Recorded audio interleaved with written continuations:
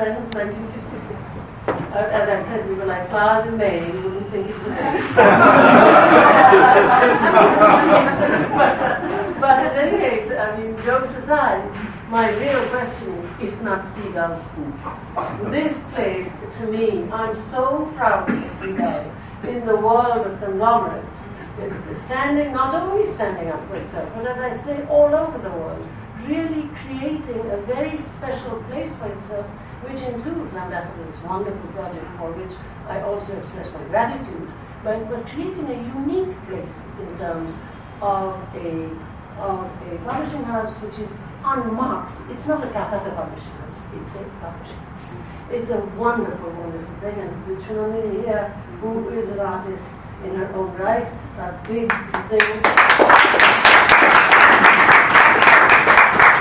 Those exquisitely designed books, which it is a pride to show. And I've in fact brought a colleague from the University of Houston because I want to be, I wanted to show him what it would mean. Hossam, Stan, where are you there? Mm-hmm. So, so what it would mean to be associated with a press where we don't work for any, anyone, but we work with. I think from that point of view, this is extraordinary. I won't say too much more, but I'll also say, although, of course, it is and it should be entrepreneurial, for me, the thing that really warms my heart is that the next generation is going to respect the book not as an arcane instrument, but as a thing with which one actually creates, and a material object which one loves. I'm not a Luddite, I'm not a technophobe, hmm. I love the digital world. But I do believe that digital idealism should make room for the extraordinary contemporaneity of the book. It is not an archaic instrument, and I think you, with Naveen, and of course in the background my friend Shomi beside me, Sunandini, the future as it were, you are really helping bring this about. This is not a small thing.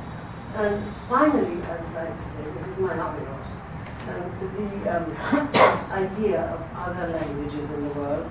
I'm just coming from Africa, five universities, and my dear old friend Njabulo Ndebele, who was the first black vice chancellor of University of Cape Town, very dear old friend who worked with Steve Biko, he has heard of this project.